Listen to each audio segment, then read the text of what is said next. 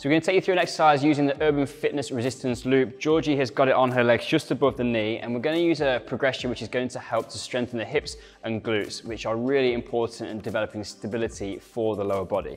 So Georgie's gonna set herself up. She goes into a quarter squat position, and then her job is just to move sideways, pushing one knee out at a time, not allowing the opposite side knee to cave in at all. So we don't wanna find ourselves in a position where we've got the knees coming together. So keep them both stacked up over the toes and then move sideways, pushing the knee, keeping a nice strong position for the hips. And that is gonna help to bring a load more stability to your glutes and help your lower body function.